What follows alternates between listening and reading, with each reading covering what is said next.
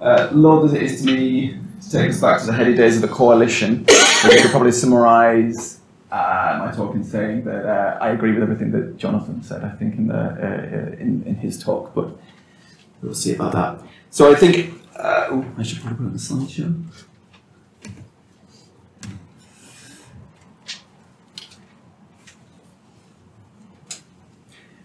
So I think as, uh, as everybody in this session is made plain, the uh, ethno-nationalist racists are interested in connecting themselves with ancient people, sometimes we totally take it out of context in very silly ways, um, like at Charlottesville.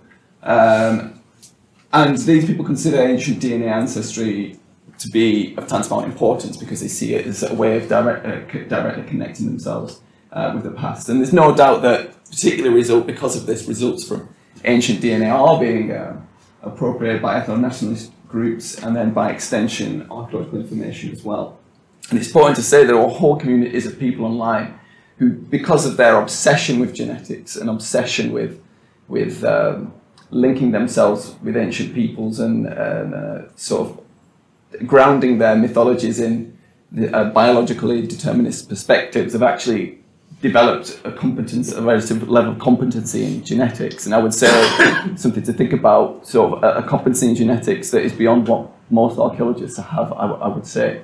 So um, that's worth bearing in mind. That doesn't mean their, their ideas are any more correct, but it gives them a sense of plausibility, uh, which inspires other people and makes it more easier for those people to dismiss um, experts.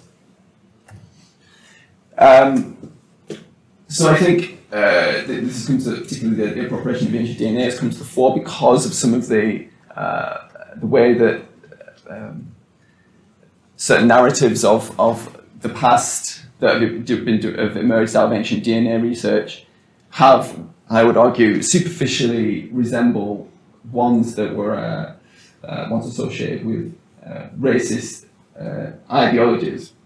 Um, and I think it's I think it's potentially a mistake to suggest that um, the narratives that are coming out of ancient DNA at the moment are particularly susceptible to uh, nationalist appropriation uh, because it doesn't it doesn't matter uh, what the ancient DNA says. They they have to come contort it. This stuff is too important to nationalists uh, and ethno-nationalists particularly for them to let it say something contrary to what they want it to. So they will distort it, manipulate it, discredit people, discredit parts of papers uh, in order to make it fit. So particularly if you go back uh, 15 years or so, um, you had these very early ancient DNA studies that, that were suggesting there was sort of 12,000 years of uh, continuity in Britain.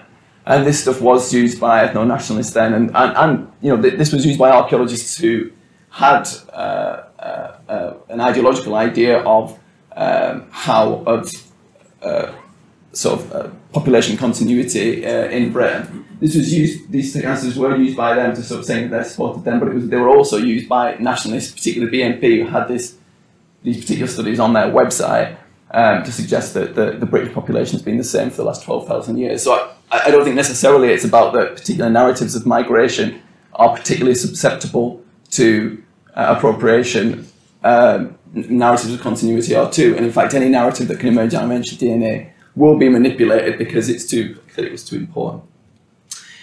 Um, and I, th I, think there are strategies to, to, I think ancient DNA and archaeologists working on ancient DNA papers can try and do more to take responsibility for uh, the way that their stuff is received, but that there will always be a hard core of alt-right figures that even if you add a statement to a paper uh, of, of, of far-right figures, even if you add a statement to the figure, uh, even if you, you try and control a press release, they will discount it and reinterpret it in whatever way uh, they like. And it, so it becomes then about trying to limit or uh, challenge or inoculate the public against that kind, those kind of uh, fringe ideas.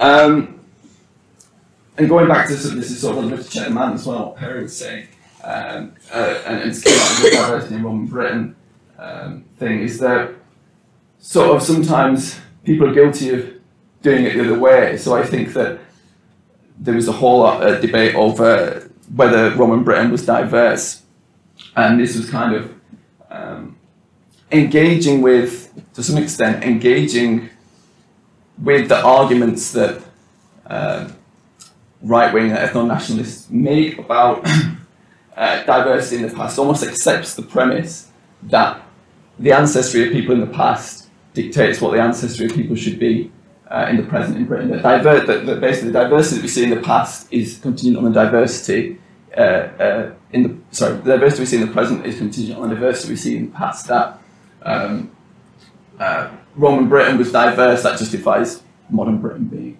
diverse. But you know, it's good to show that even by their own twisted logic, white nationalists are wrong about uh, their ideas.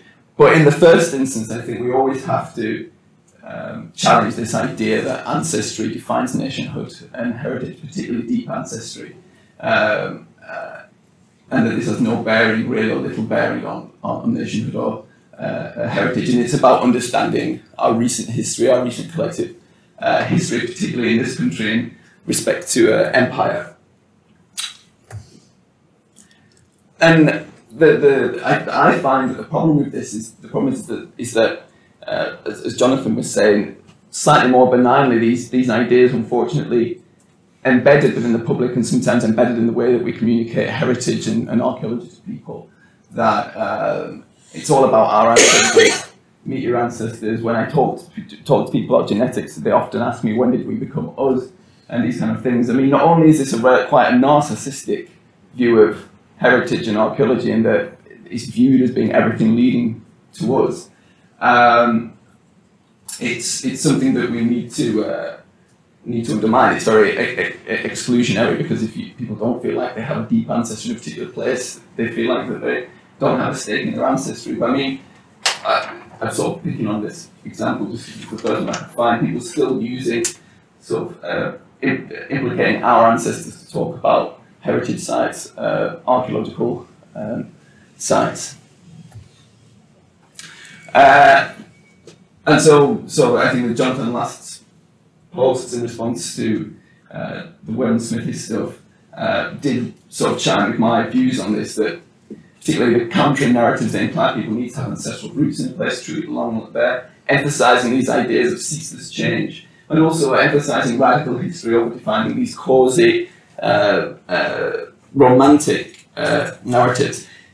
I think that thinking about it, what this often does is that you know we're, we're looking for ways in which to engage people by finding things that speak to universal human experience that um, uh, you know mourn um, that people mourn that uh, uh, people eat, people sleep, all, all the universal things, and sort of, sort of connect people with the past. But at the same time, I think with so much emphasis on people's ancestry, this somehow gives the impression that we have more in common with people in the past who occupied the same space than we do with people who are occupying the same space today that are perhaps uh, have, have uh, a different culture. You know, those things about mourning and th- mourning and, uh, uh, and dealing with sickness and whatever, they're all sort of truisms. But, but broadly speaking, I think that uh, we probably we have more in common with the people that we um, dwell with today than we do with people who dwelled in the same place in the past. And they think that relying on these um, sort of ideas about um, uh, familiarity in the past sometimes uh, makes people feel like they have more in common with people in the past than in the, in the present.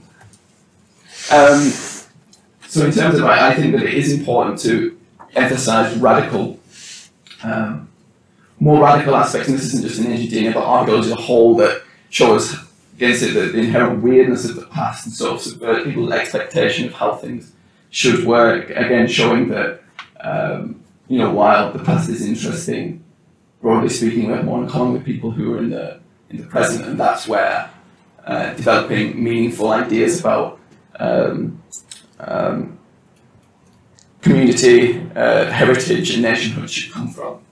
Um, and I think that, you know, I mean, the Cheddar particularly is one of these ones that things that is uh, inherently quite radical, I think.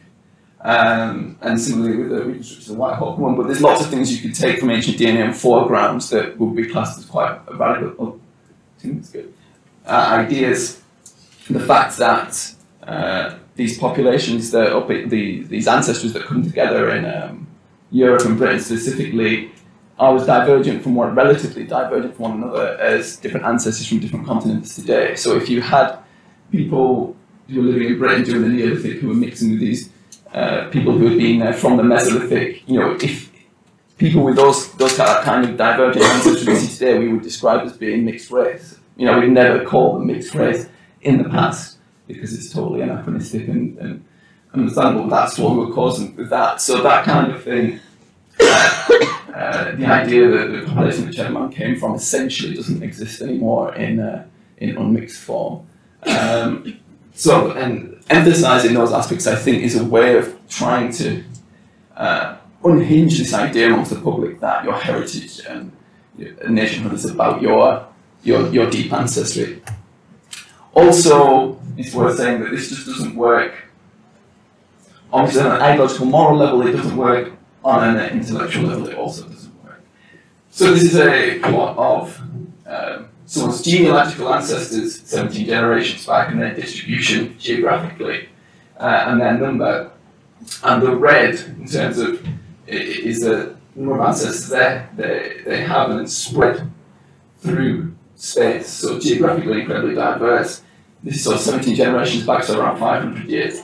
The blue is what proportion of those ancestors they inherited the DNA, any, any DNA from. So when you get back into just 500 years, the proportion of ancestors that you've inherited DNA from is infinitely small. So your, your genetic ancestry only really tells you about your recent ancestry. It doesn't tell you about, you know, can't tell you. Your deep ancestry is, is legion. Uh, basically, if you, uh, everyone that was alive a thousand years ago in Europe is the ancestor of anybody, everybody with any recent European ancestry alive today. Um, similarly, everybody that was alive 6,000 years ago is the ancestor of more or less everybody who's alive in the world uh, uh, today. So, even on a technical basis, talking about our ancestors and specifying it doesn't make it, in being quite specific, doesn't make any sense. But I think before we get to these arguments, we shouldn't accept the premise and say that it's not about ancestry uh, in the first place. I think also Jonathan's right to emphasise uh, the idea of mutability and that when people talk about where, where, when we became us and that we, we, we're not, there's never a point when we became us, we're constantly changing. Uh, our genetics are changing by migration, by drift, by selection. We're not the same genetically as we were even you know 100 years ago. Um, and the rate of this change varies depending on this process, but it is ceaseless. Uh, and ancient populations were not becoming us uh, populations were not the same as us in the past and won't be the same as us in the future as well. Uh, and that's so I think if, if it's about recommendations, it's about taking ancestry, trying making a conscious effort to take ancestry out of the equation when you talk about um, archaeology and um, and nationhood, uh, even when it's become so prominent because of some of these ancient DNA studies. Thanks.